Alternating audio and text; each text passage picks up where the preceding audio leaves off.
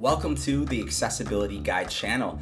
Today, we're gonna take a look at how to combine several files into a single PDF and take a look at how to split one PDF into several PDFs. But before we get to that, take a moment to hit that like and subscribe button. Now back to the video. Alright, so there is a variety of ways to combine files into a single file. The first method I'm going to show you is found under the Tools menu and then under Organize Pages. This is where you can select multiple files and combine them into one.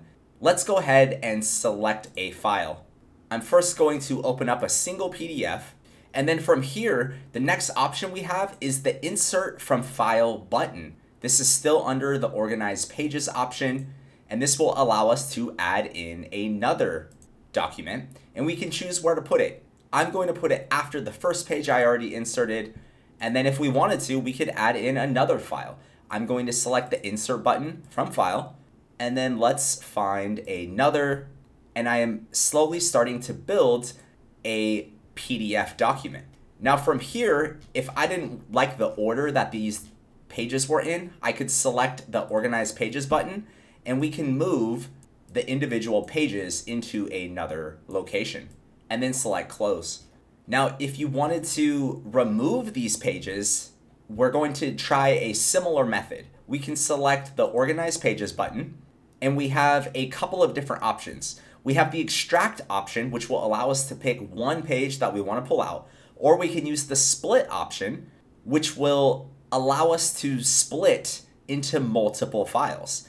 Let's go ahead and split by number of pages and we're going to select one page and then we're going to select split and what that does is it creates four different single pages.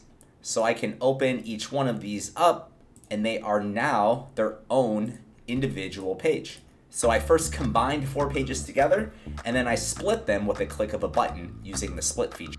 You just learned how to combine multiple PDFs into a single PDF, and you learned how to split a single PDF into multiple PDFs. Be sure to check out my other Adobe Acrobat videos for more tips and tricks.